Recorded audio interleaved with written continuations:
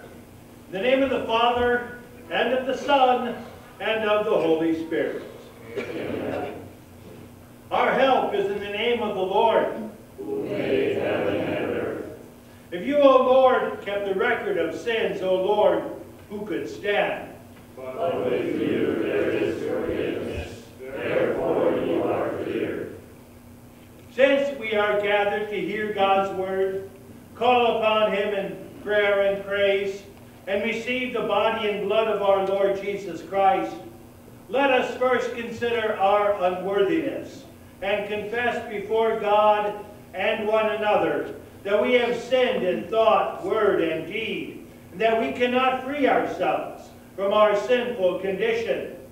Together as his people, let us take refuge in the infinite mercy of God, our Heavenly Father, seeking his grace for the sake of Christ, and saying, God, be merciful to me, a sinner.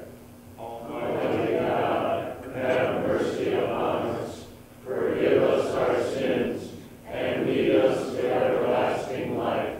Amen. Almighty God, merciful Father, in holy baptism you declared us to be your children and gathered us into your one holy church, in which you daily and richly forgive us our sins and grant us new life through your Spirit. Be in our midst, enliven our faith, and graciously receive our prayer and praise through your Son, Jesus Christ, our Lord. Amen. Almighty God, in his mercy, has given his Son to die for you, and for his sake forgives you all your sins. As a called servant of Christ, and by his authority, I therefore forgive you all your sins, in the name of the Father, and of the Son, and of the Holy Spirit. Amen. Congregation may be seated.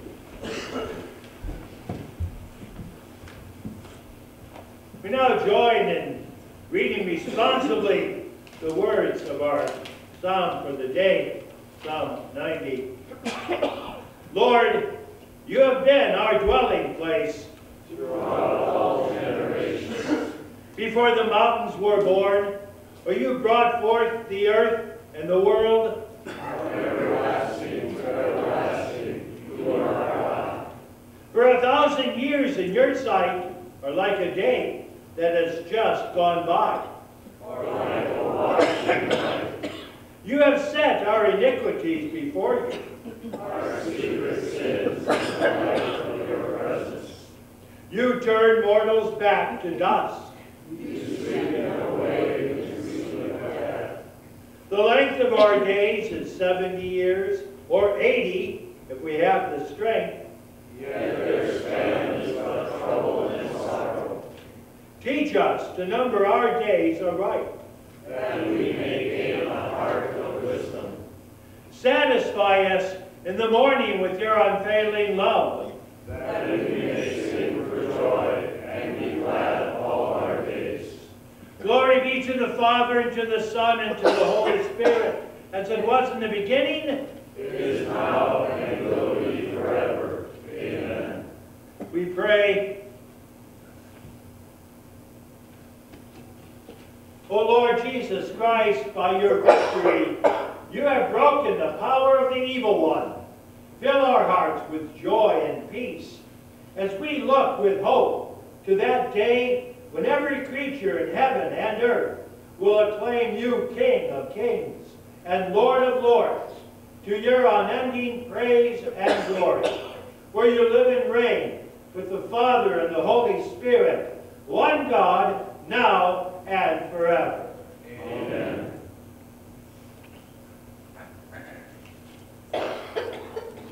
Our first scripture lesson for today is from the book of the prophet Jeremiah in chapter 23, beginning with the first verse. Woe to the shepherds who are destroying and scattering the sheep of my pasture, declares the Lord. Therefore, this is what the Lord, the God of Israel, says to the shepherds who tend my people. Because you have scattered my flock and driven them away, and have not bestowed care on them, I will bestow punishment on you for the evil you have done, declares the Lord. I myself will gather the remnant of my flock out of all the countries where I have driven them, and will bring them back to their pasture, where they will be fruitful and increase in number. I will place shepherds over them, who will tend them, and they will no longer be afraid or terrified, nor will any be missing, declares the Lord. The days are coming, declares the Lord, when I will raise up for David a righteous branch, a king who will reign wisely and do what is just and right in the land. In his days, Judah will be saved, and Israel will live in safety. This is the name by which you will be called, the Lord, our righteous Savior. This is the word of the Lord. Our second lesson is from the letter of Paul to the Colossians in chapter 1, beginning with verse 13. For he has rescued us from the dominion of darkness and brought us into the kingdom of the Son he loves, in whom we have redemption, the forgiveness of sins. The Son is the image of the invisible God, the firstborn over all creation. For in him all things were created, things in heaven and on earth, visible and invisible, whether thrones or powers or rulers or authorities. All things have been created through him and for him. He is before all things, and in him all things hold together. And he is the head of the body, the church. He is the beginning and the firstborn from among the dead, so that in everything he might have supremacy. For God was pleased to have all his fullness dwell in him, and through him to reconcile to himself all things, whether things on earth or things in heaven, by making peace through his blood shed on the cross. This is the word of the Lord. We now continue with our next hymn, hymn 473, Look ye saints, the sight is glorious.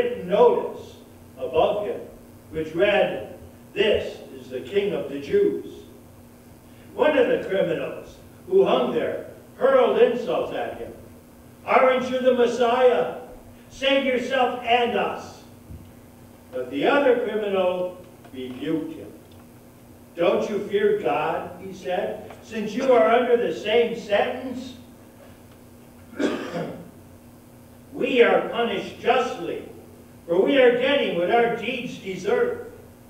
But this man has done nothing wrong.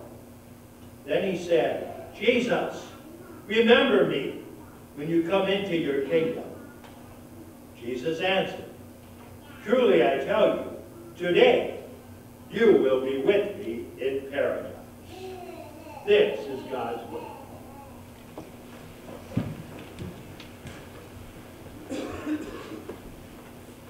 In the name of our gracious Savior, Jesus Christ, dear Christian friends. What if this is the last sermon you will ever hear? What would you want to hear?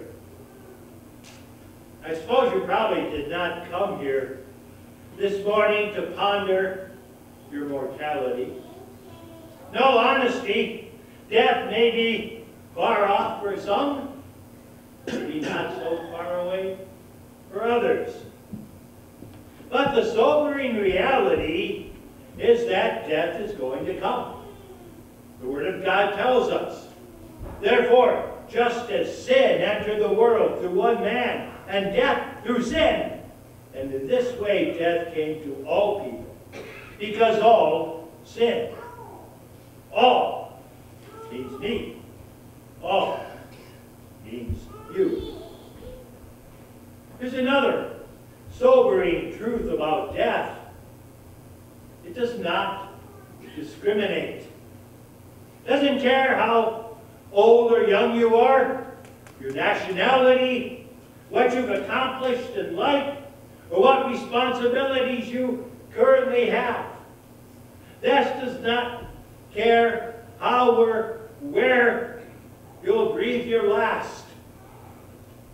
So again, what if this is the last sermon you will ever hear? What do you want to hear to prepare for death? About a promise? A promise of paradise. This morning, we would travel to Jerusalem and eavesdrop on a conversation taking place between some men who were facing death. We find ourselves standing on Golgotha, a grotesque hill outside of the city, one that was said to be shaped like a skull.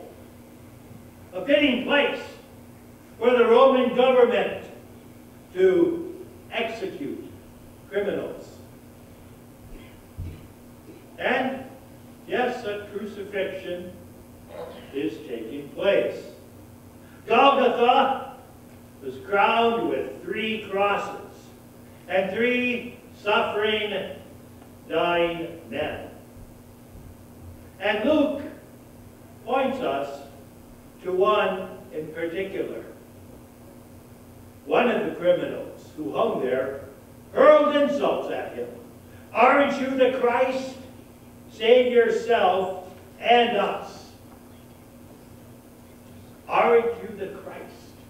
He taunted. Where did this man get his information about Jesus? That he was the supposed Messiah? Well, I suppose he was listening to the Pharisees and the chief priests, the religious leaders of the Jews, as they continued to mock Jesus. He saved others. Let him save himself if he's the Christ. Pontius Pilate, the Roman governor, had placed that sign above Jesus' head, Jesus of Nazareth, King of the Jews. Sure, he may have listened to the Roman soldiers as they were mocking Jesus. Perhaps he might have seen Jesus on display in Pilate's courtyard, dressed in purple, with a crown of thorns on his head.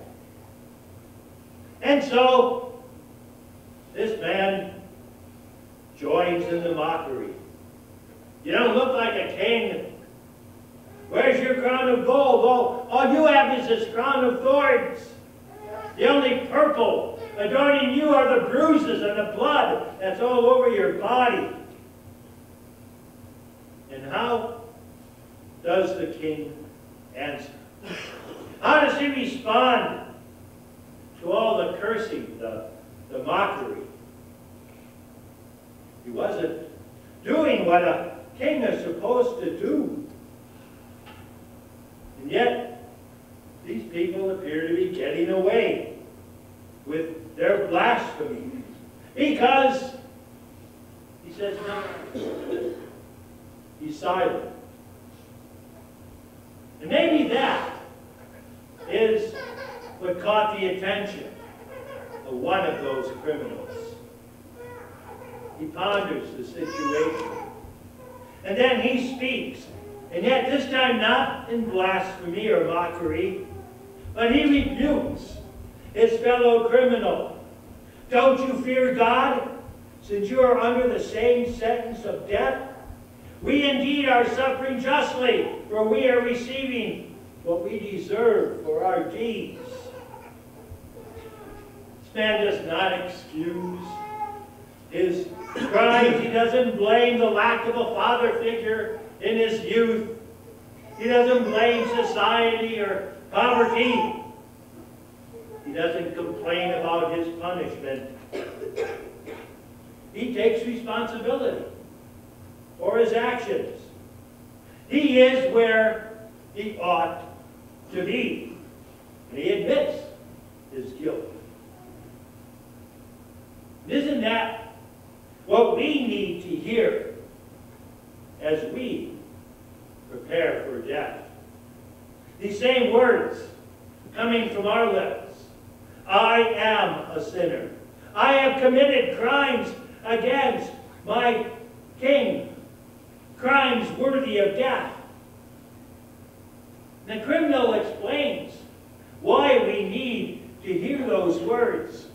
We have committed crimes worthy of death, but this man has done nothing wrong. This man has done nothing out of place. Everything that he has done, in fact, has been done perfectly. Because how did this man know about Jesus? That he was innocent of any guilt. That he was being punished for crimes that he did not commit. I suppose maybe he saw the sign above Jesus' head, the King of the Jews. He also probably heard the taunts of the soldiers and the religious leaders and the people. If you're the Christ, come down from the cross and prove it. They were mocking Jesus because he claimed to be the Messiah, the Savior. Maybe as the three of them were going through the streets of the city on the way to their execution, Maybe this man heard Jesus say to the women, Weep not for me, but for yourselves and for your children. Many heard the words of forgiveness to the soldiers who were driving the nails through Jesus' hands and feet.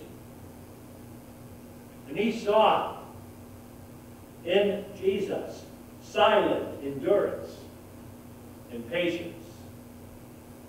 Heard no word of complaint, no word of retaliation or vengeance. How could the people have missed all of those obvious clues that this man had done nothing wrong, that he was innocent? Yes, he is the king, the Messiah, the Savior. Do that man on the cross next to Jesus looked past the crown of thorns and saw the crown of victory. He looked past the nails and saw the scepter of gold in Jesus' hands. He looked past this weak and bloody, bruised man and saw a beautiful Savior, clothed in white robes, glorious and powerful. And as this man recognized his guilt more and more, and that Jesus of Nazareth was without fault, he heard forgiveness utterly, freely proclaimed for the ruthless men who were crucifying him. And he wanted to hear those same words of forgiveness for himself before he breathed his last. He knew that death was coming soon, and he longed to hear that his sins had been forgiven. And so he speaks, Jesus, remember me when you come into your kingdom. With complete confidence, he put his trust in this man dying on the cross next to him, knowing that whatever this king would do, it would be a blessing. He doesn't know how or when Jesus would enter his kingdom, but he wants to go there with him. He wants to be with his Savior. And here he tells the king what to do. See, but his request is, is different.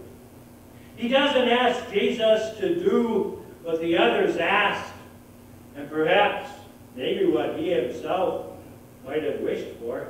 Come down from the cross and, and save me. No, his request is different.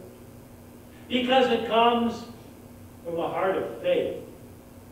Faith that had been born in him in a very short time, which really is amazing when you think about it. The Holy Spirit used those few words from the lips of Jesus to convert this man from blatant unbelief and convinced him that this Jesus is the Savior of the world, the one who holds forgiveness for his sins. Not long before this blasphemy was coming from his lips, but now we hear a confession of faith. And what will the king say? All day long, people have been telling this king what to do. And so the king says, the one thing that this man wanted to hear before he died. Truly I say to you, today be in paradise. He gives them a promise that is sure and certain. A promise that chases away any doubts. A, a promise that gladdens this man's heart. A promise that his sins are forgiven, that he has been accepted as a child of God. Today, you will be with me in paradise. How refreshing this must have been to Jesus also. And all the world had abandoned him. His own people rejected him. The religious leaders hated him. They did not want him as their king. Even his disciples had forsaken him. But here on the cross, as he is punished for the very sins that these people are committing, Jesus is able to offer forgiveness to this man. He has the opportunity to offer the innocence of a perfect life. He's able to offer that man rest from his suffering. Today, you will die, and that'll be a good thing.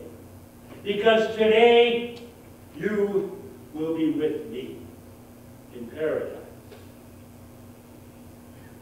So, here we are, just like that criminal, preparing for our death. And what do we want to hear? We've already heard what we need to hear, and from our own lips. I confess that I am by nature sinful, that I have sinned against you in my thoughts, words, and actions. I have committed crimes worthy of death. Those are words that you and I need to hear, need to speak, because they remind us that we stand before our King empty-handed. We come with nothing to offer. We look in faith to our King and, and humbly say, Jesus, remember me when I die.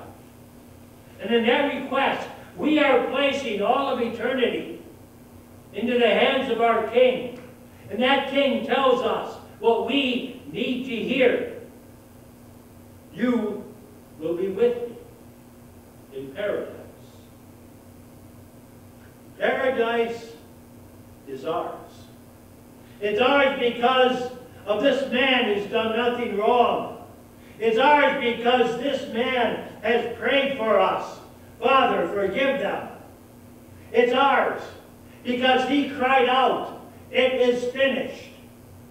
It's ours because he said, Behold, I was dead, but now I am alive. This man is our Savior, our King, and he promises paradise to us. And whenever that King says, it's going to happen. And so as we prepare for death, we can't let the words of the King out of our ears. We need to close our eyes in, quiet confidence, knowing that when we open them again, we will see our King face to face, smiling at us. We'll hear him say, Come, come into the kingdom that I have prepared for you, that I have promised you. And so, to that King we say, Come quickly, Lord Jesus, my Savior and King. Amen.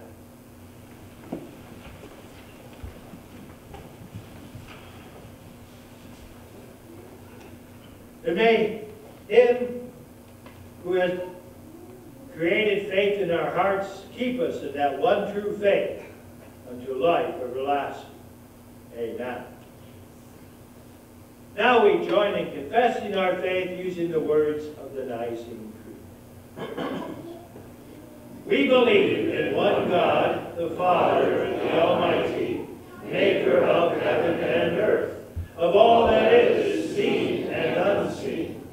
We believe in one Lord, Jesus Christ, the only Son of God, eternally begotten of the Father, God from God, light from light, true God from true God, begotten, not made, the one being with the Father, through him all things were made. For us and for our salvation, he came down from heaven, was incarnate of the Holy Spirit and the Virgin Mary, and became fully human. For our sake, he was crucified under Pontius Pilate. He suffered death and was buried. On the third day, he rose again in accordance with the Scriptures. He ascended into heaven and is seated at the right hand of the Father.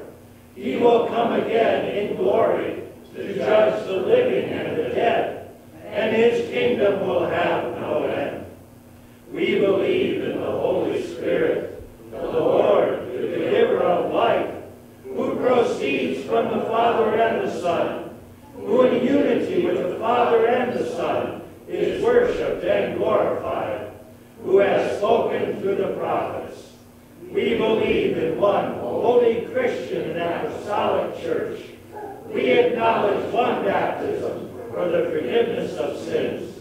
We look for the resurrection of the dead and the life of the world to come. Amen. Congregation may be seated. we continue by singing the first verse of hymn 947, Lamb of God, pure and holy.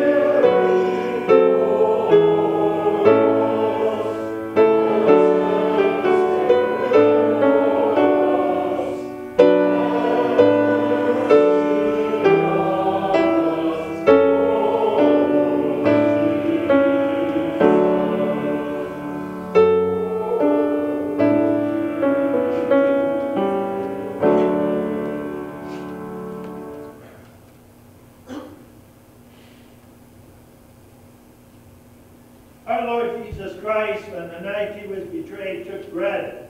And when he had given thanks, he broke it and gave it to his disciples, saying, Take and eat. This is my body, which is given for you. Do this in remembrance of me. Then he took the cup, gave thanks, and gave it to them, saying, Drink from it, all of you. This cup is the new covenant in my blood, poured out for you for the forgiveness of sins. Do this whenever you drink in remembrance of me. The peace of the Lord be with you always. Amen. The ushers may now usher the community.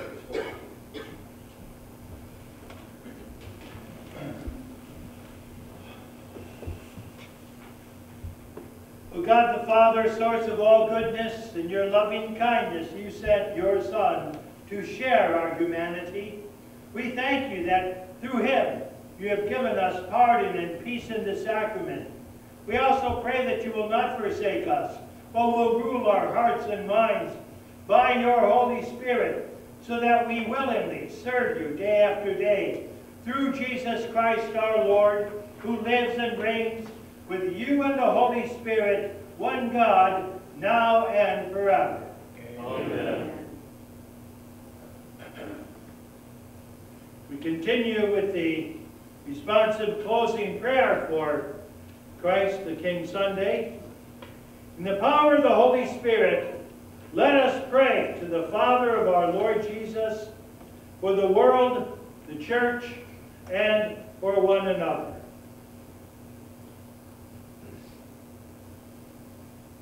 Gracious Father, you have made your Son King of creation and head of your holy church.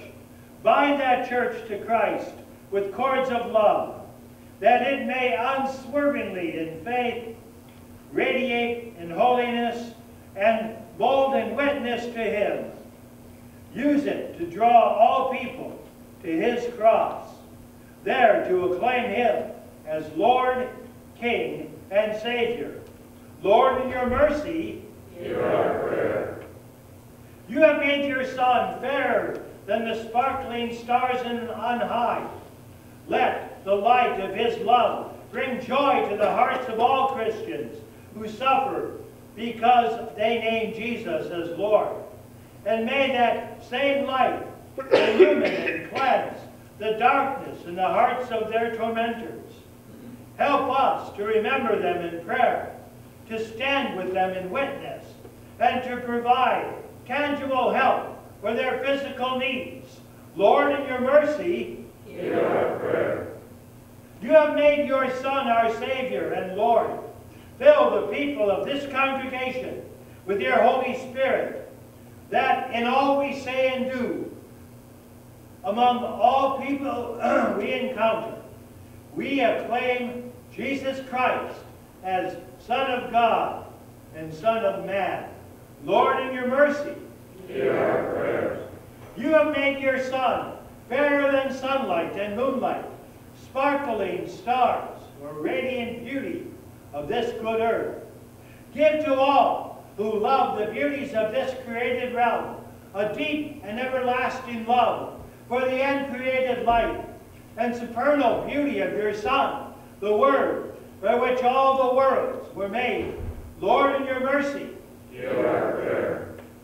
You have made your Son, Lord of the nations, by your Holy Spirit, conform the hearts of rulers and people to the heart of Christ, and let his peace reign undisturbed in every land.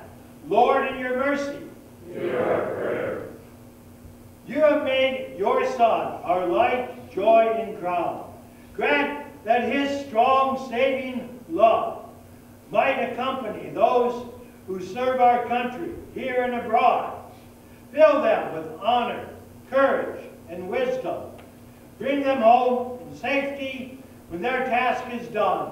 Heal and strengthen all who have been wounded, and help us to transition well into civilian life. Lord, in your mercy, Hear our prayer. You have made your Son fairer than woodlands, meadows, and flowers of blooming spring. Let his beauty, healing, and compassion cause all sorrowing hearts to sing. Especially this day, we pray for the needs of our brother in Christ, Bradley Taylor, who is hospitalized. Lord, in your mercy, Hear our prayer. Most gracious Father, you have made your Son to shine more brightly than the angels of heaven itself. We thank you for the lives of the faithful departed, who have already seen his face in glory. Fill us with such faith and love that in your good time we shall join them in singing glory and honor, praise, adoration, now and forever, Lord, be thine. Lord, in your mercy, Hear our prayer. Lord Jesus, for Jesus' sake, dear Father, graciously hear and generously answer our fervent petitions to your glory and for the benefit for whom we of those for whom we pray. Amen. Congregation may be seated. We conclude our worship with hymn 405, On My Heart, Imprint Your Image.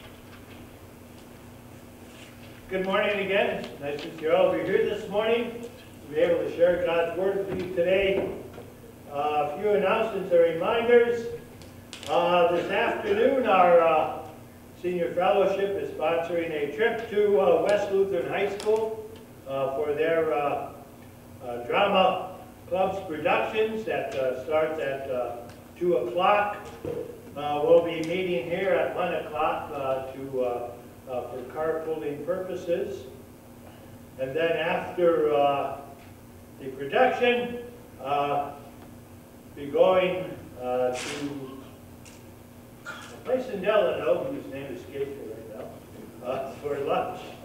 Uh, And then afterwards, uh, are invited uh, to uh, sharing in Ken Taylor's house for coffee uh, and dessert.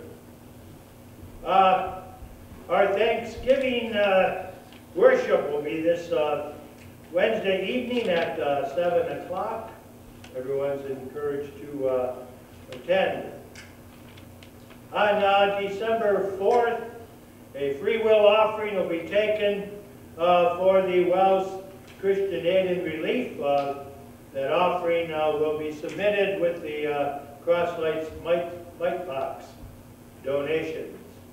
And on Sunday, December 11th, the Crosslights will be hosting their annual Christmas gathering uh, starting at 2 o'clock. All the members of the congregation are invited to attend. Those attending are asked to bring a snack uh, to share. Also, uh, it's time to uh, order uh, uh, poinsettia plants uh, for Christmas. If you would like, the order forms and envelopes are in the back of the church for your use. The deadline for placing an order is December 4th.